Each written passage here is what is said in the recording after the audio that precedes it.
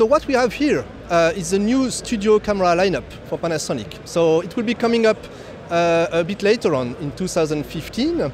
And basically, uh, it's an addition to the uh, actual uh, uh, studio camera that we have now. We will be able to have 50p and high frame rates on these models, so up to 240p actually uh, shooting on a 2 3rd inch studio camera.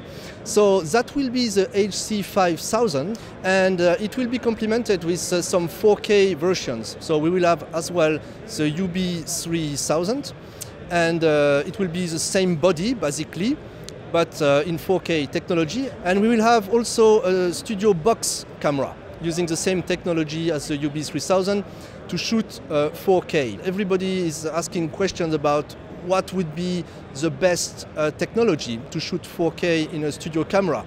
Um, so some, some manufacturer will go for two-third inch kind of cameras, putting more pixels into two-third inch sensors. So this could be used, but uh, it will be a big problem for sensitivity of the camera.